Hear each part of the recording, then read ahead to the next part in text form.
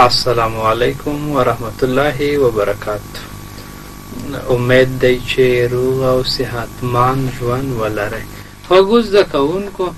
موږ نن ورځ درسونو په دې بهیر کې اووم ټولګي کیمیا د مادې خواص او استاد احساس افغان تاسو مخکې ویلوړ ده او نن ورځ به په کیمیا کې تاسو نه دا زده کی چې د مادې خواص څه معنی یعنی مونږ د مادې خواص څه شي ته ویل کیږي او ولې زده کوو زده کوونکو که کتابچې در سره وي ولیکئ سره چې د مادې خواص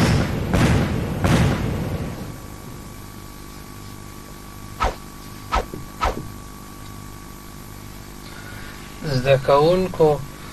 عنوان د مادې خواص ده خواص مونږ دې په خاطر یایو چې مواد وپیژنو د مادې خواص موږ سره د مادې په پیژندلو کې مرسته کوي او کوماخ کوي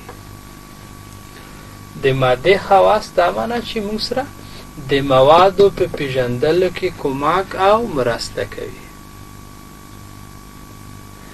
د خواص کلمه خپل د خوی معنا لري لکه فرض مثال موږ یو چې احمد خو خوی لري یعنی د احمد کړه وړه چې دی هغه موږ ته د منل وړ دي یعنی د خوی په واسطه موږ یو کس و پیژندل شو اصلا د خواص په مرسته موږ یو ماده پیژندل شوې فرض مثال که زه وایم کنه احمد د احمد په نوم دوه درې نفر دي په یوه کلي کې یا په یوه ولسوالۍ کې یا په ولایت کې یو چا نه پوښتنه کوي چې احمد پیژنې هغه ته یې چې ټیټ احمد جګ احمد تور احمد کنه دغه د جګولی ټیټولی تورولی دا خواص دی دی په مرسته احمد خو ډیر احمد په نوم ډیر خلک موجود دي خو موږ هغه احمد په کور دی چې کد یی جګ دی د کد جګولی دا خواص دی ګوره ای د جګولی په مرسته مونږ یو کاس وپیژندلو هدف می داسی ده که توسی نه هم څوک پختنه کوی چی د ماده خواص مونږ ویلی مطلعه کوو د ماده خواص مونږ په دی خاطر مطلعه کوو چی مونږ د خواص په مرسته وکولی شو مواد وپیژنو ځکه په خلص ډول هم دا لیکو چی د ماده خواصو په مرسته د مادي حواسو په مرسته موږ موږ مواد پیژندلی شو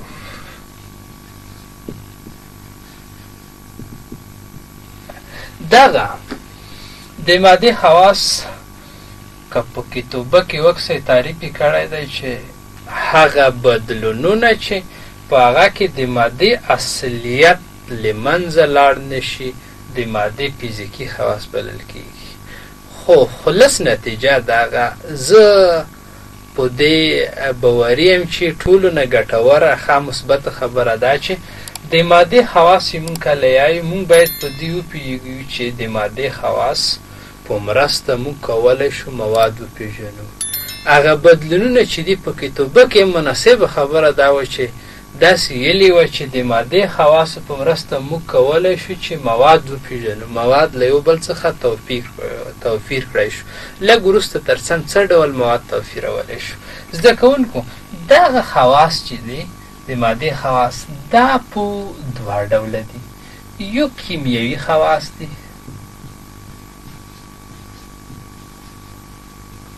کې ملي خواص دویم زده کوونکو فزیکي خواص دي ای مونږ توسه په د اوسني درس کې یوازې په فزیکي خواصو نه بحث کو کیمیاي خواص په راتلونکي فصلونو کې بیا مطالعه کیږي زده کوونکو د فزیکي خواصو په مرسته موږ چې پیژندلی شو که څوک پوښتنه درنه وکړي چې فزیکي خواصو د زده کړې هدف چیه ده زده کوونکو د فزیکي خواصو د زده کړې هدف دا دی چې موږ وکولی شو چې د فزیکي خواصو په مرسته د موادو رنګ، زده کوونکی تخته دنه صفحه کوم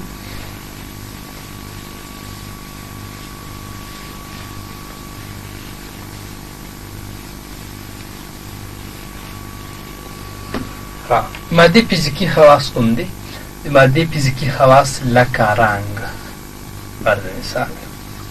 رنګ، خواند، فرض مثال، بوی ده،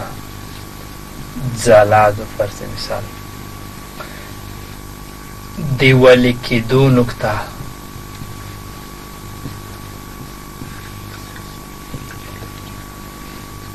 اېشېدو نکته.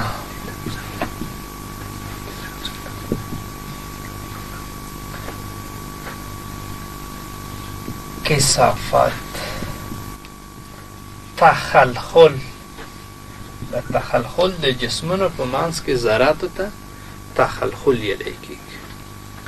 خوږو زده کوونکو موږ کولی شو چې په فزیکي حواسو کې رنګ، خوند، بوی، ځلا، ویلي کېدو نکته، ایشېدو نکته، کثافت، تخلخل او دې نه پرته جامد حالت، فرض مثال د مادې درې ګوني حالتونه دي، جامد حالت، مایع حالت او. راس حالت هم مطالعه کو که څوک وایي چې ته موته د مادې د فزیکی خواص یو څو بیلګې ولیکه لکه چې نو موږ ته ویلی شو چې مادې فزیکی خواص لکه رنګ خوان بوی ځلا ولیکي دو نکته شي دو نکته کثافت تخلخل د مادې درې ګوني حالتونه جامد مایع او غاز دا د مادې په فزیکی خواصو کې ارتللی شي او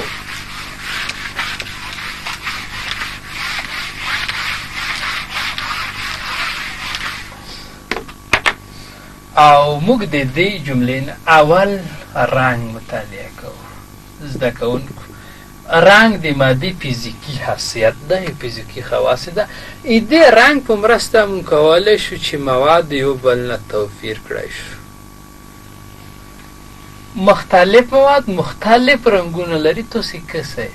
خو اوبه چې دي اوبه اوبه بې رنګه دي اوبه او شیدې چې کومې دي شیدې شیدې سپین رنګ لري په همدې ترتیب سره په ورځني ژوند کې تاسو مختلف رنګونه کس کولی شو چې د رنګ په ورسته هم موږ ځینې مواد وپېژنو او درک یې کړو دویم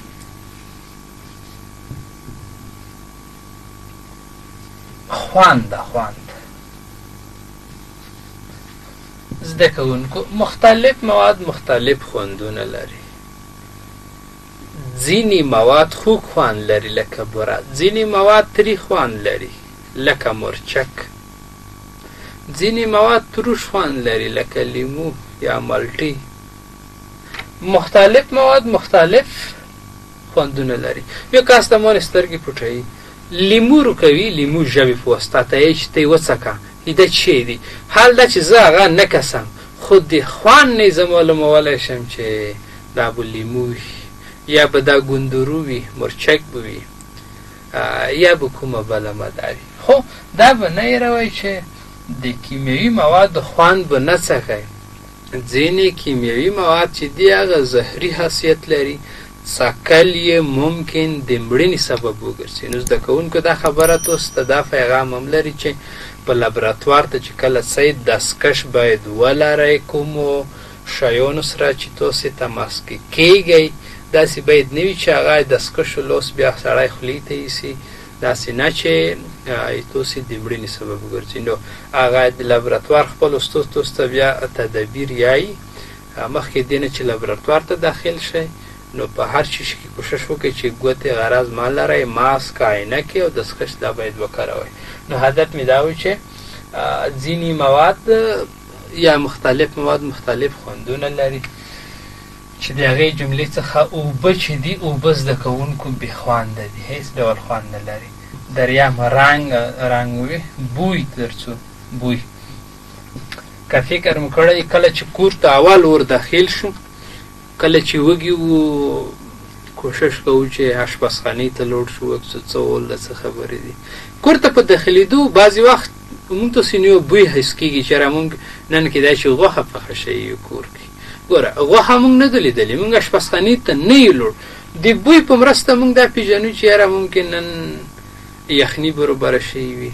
یا کوم بله ماده چې په کور کې پخیږي کیدای شي د بوی په مرسته مونږ دا حس کو چې نن غوښه ده یا کومه بله ماده د خوارو کې پوره تیوره شوې ده یعنی هدف داسې ده چې د بوی په مرسته کولی شو موږ مواد وپېژنو په بوی کې ځینې مواد ښه بوی نه لري ځینې مواد ښه بویونه لري یا په عموم کې ګلان چې دي دا مختلف رنګ رنګ بویونه لري دریم زده کوونکو څلورم ځلا یا ځلا دا پیلی کېږي که فکر مو کړی عموم کې کله چې کور کې لوښي ومینځلی شي میر ته کېښولی شي او دا ډېره ښه خبره ده چې میر ته کېښولی شي تر څو کوم میکروب چې وي هغه ټول ووژني کله چې د کور لوښي ومینځل شي، لمر ته د وچولو په خاطر کیښول شي. نو زده کوونکو په دې وخت کې که چیرته د لوښي لږ خسو لیدلي، لږه پړکو کوي دا پړکیدل دې ته ځلا ویلی کیږي. عموم کې هغه مواد چې فلزات دي، سره زر دي، سپین زر دي یا دې ته ورته نور فلزات چې دي هغه ځلا لري. غیر فلزات چې دي لکه کاربون هغه ځلا نه لري ګوره هغه مواد چې ځلا ولري زه پوهیږم چې ته فلز یې او که وی نه لري زه ویایم چې دا غیر فلز دی نو کولی شو ځلا هم د موادو په منځ کې د تشخیص یا د فرق کولو یو معیار وګرځو رنګ خوان بوی ځلا ولی کیدو نقطه دا کون په داس کې تلیکن چې د ویلي کېدو نکته دا د تودوخې هغه درجه د یا نقطه ده چې په یوه جامده ماده چې وي یوه جامده ماده په ولې کېدو ارڅي په کومه درجه کې چې یوه ماده ولې کېږي همغه نقطه یې د ولې کېدو نقطه ده فرض مثال دا یو لوښی ده زده کوونکو په ده لوښي کې یخ یخي شوي دي یخ په دې کې یو ترمامیتر هم ده ترمامیتر دا ترمامیتر کله چې مونږ کېږدو ویکسو کله چې دا والي کېدو پیل کوي ترمامیتر وکسو صفر درجه سانتیګراد دغه صفر درجه سانتیګراد چې د دیوالي کېدو ټکی یې لیکيږي ځکه یخ په همدې نقطه کې په ويلي کيدو پيل کوي يا کومه بله ماده د فرض مثال کله چي د حرارت درجه لاسو درجو د سنتي ګراد ته ورسيږي دا په ويلي کيدو پيل کوي د نوموړي مادي د ويلي کيدو نقطه به چي وي ويلي کيدو نقطه به لاس درجي وي يا ايشيدو نقطه هم دي ته ويل کيږي زده کوونکو هم دي ته ورته دو ايشيدو نقطه اشیدو نکته د تودوخي هغه درجه چې په دې کې یوه مایع ماده په اشیدو ارسي دې ته اشیدو نکته ویلی کېږي فرض مثال په دا یوه لوښي کې اوبه موجودې دي اوبه دي کله چې موږ تودوخه ورکوو تودوخه کله چې تودوخه سلو درجو سانتیګرادو ته ورسېږي دا اوبه به وایشېږي نو موږ ځکه چې د اوبو د اشیدو درجه څومره ده د سل درجې سنتیګراد انجماد نقطه انجماد نقطه هم ویلی شو